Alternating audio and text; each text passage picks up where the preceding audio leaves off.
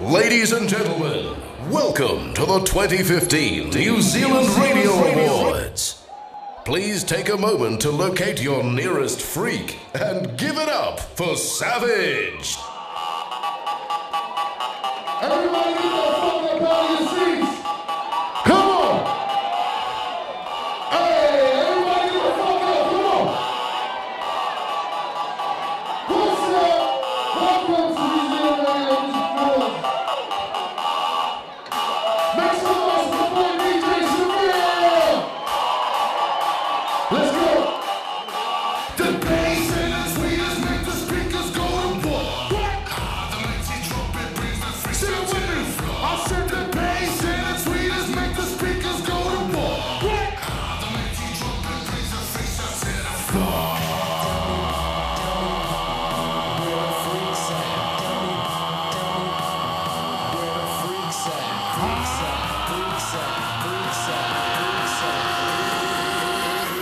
Tell me where the freaks at.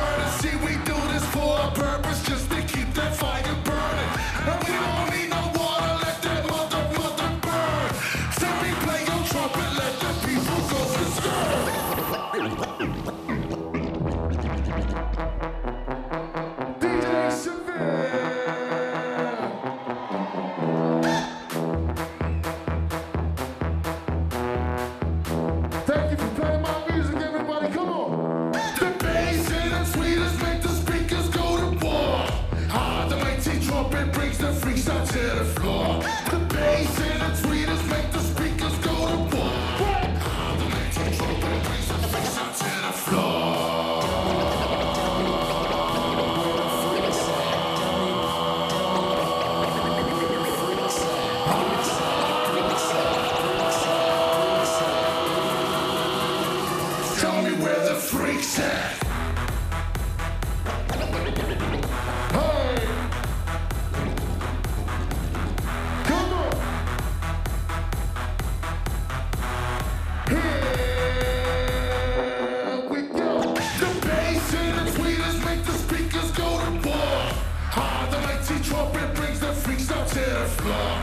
The bass and the tweeters make the speakers go to war. The mighty trumpet the freaks out to the floor. Make some motherfucking noise. Ladies and gentlemen, Savage.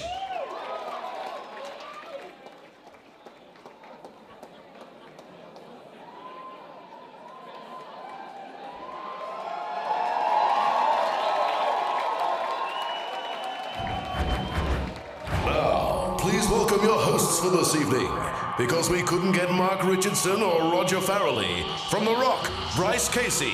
And from the margin of error, Radio Sports, Andrew Mulligan. Tell me where the freaks at.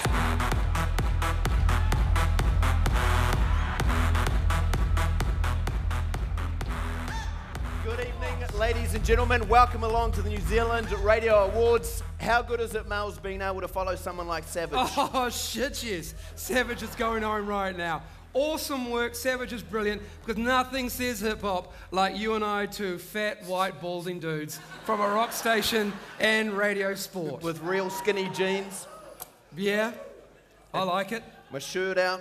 Sweating. Nothing says more. I think it might have been more appropriate, Mel's, maybe if we had have come out to some Spandau Ballet. Oh, yes. Would have been maybe a little bit more fitting for what we look like. Um, but don't worry, because tonight, Spandau Ballet, they are here in their own little way, really. Yeah. Because for those of you who are lucky enough tonight to win one of the premier awards, what we're going to do is we're going to get you to come on stage. You're going to say a few words, but if you start banging on too much, start bragging Then about you it. will. Well, you're going to hear some Spandau Ballet, and it's all thanks to the help of The Breeze and Alison Leonard. Lunchtime requests at the breeze. Oh, yes, and the boys are in town at the moment. Spandau Ballet.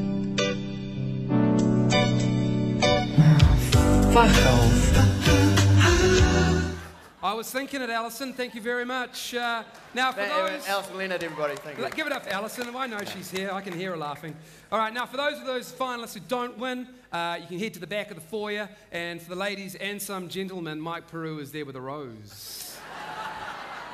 oh, yeah. Thank you, thank you, Mike. Um, it is great to be here, though. What a venue! Uh, this is a great place to be. The Auckland War Memorial Museum, surrounded in so much rich history. In fact, so much. my co-host on the Rock, Roger Farrelly, Oh, he's got history. he actually broadcast from the Great War himself. Yeah, yeah. He was, he was in the trenches. He was um, a little weasel they'd send him through into the Turks. Yeah, and he actually has his own exhibit, which you'll find just down to the back, a few corridors down the right, and he encourages you to head along and have a look at the exhibit once the night is through. Yes, uh, my co-host from the Crowd Goes Wild Breakfast on Radio Sport, Mark Richardson, he couldn't be here tonight because he's been called into TV3. Uh, he's actually trying on John Campbell's suits.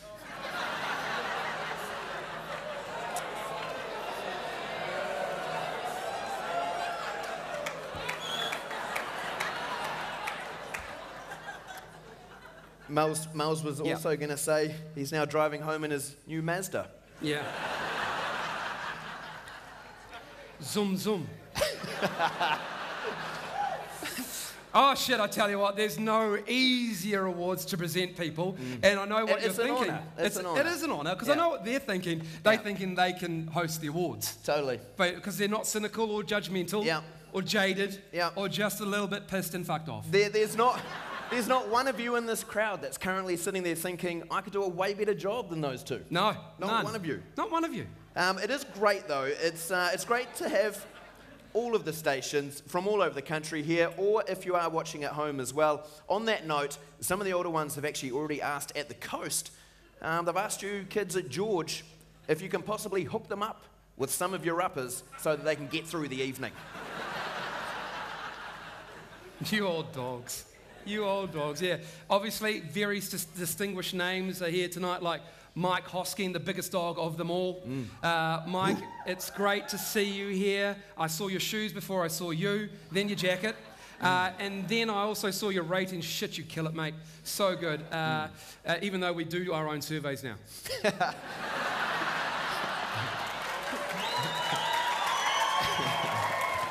We're out of the margin of error.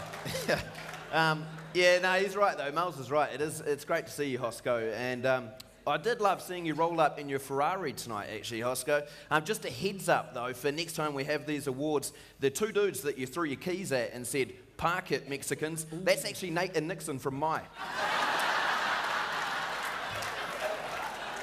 and they are two up for an award tonight. Shit.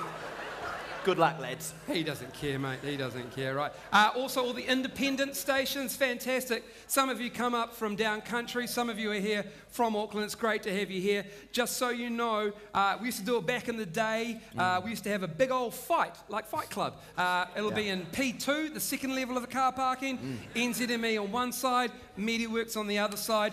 Choose a side, get a weapon from downstairs. Yeah. Fletch, Vaughan, and Megan will go to the highest bidder on either side. so, yeah.